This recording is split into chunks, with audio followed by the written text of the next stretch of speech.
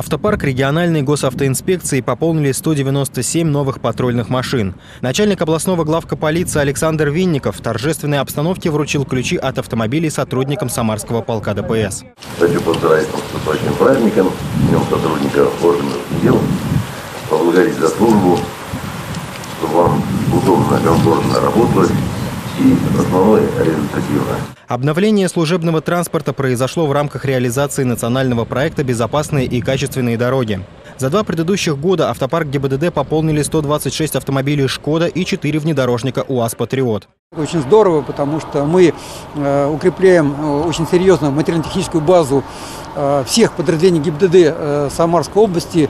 Это, конечно, позволит сотрудникам ДПС на маршрутах патрулирования более качественно, более эффективно нести службу, соответственно, предупреждать, пресекать, выявлять нарушения в области дорожного движения. Автомобили направят во все подразделения области, где они требуются. Старые, но еще пригодные машины передадут в другие структуры, а те авто, срок у которых вышел, спишут. Срок службы новых патрульных машин составляет 5 лет или 200 тысяч километров пробега. Это современный автомобиль «Лада Веста». На нем стоит установлен максимально возможный двигатель для этого автомобиля 1.8 максимальной мощности. Э, от гражданского он отличается повышенным дорожным просветом э, полностью автомобиль укомплектован для несения дорожно-патрульной службы. Самарская область в лидерах по количеству обновляемого автопарка. За последние два года заменили 30% служебных машин во всех подразделениях Министерства внутренних дел. За три года службы в ГИБДД Александр Быстряков успел оценить несколько моделей патрульных автомобилей. Мы очень рады Ладвес на самом деле, потому что предыдущие были Лада Гранта, Лада Приора. Приходит смен новые патрульные машины э, с высоким клиренсом.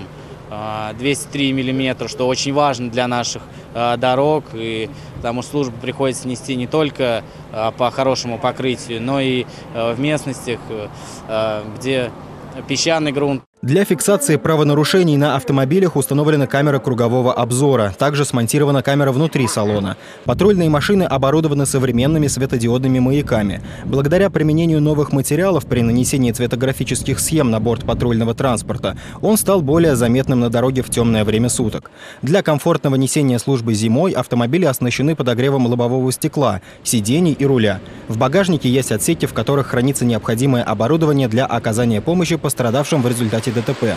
Максим Магомедов, Максим Гусев. События.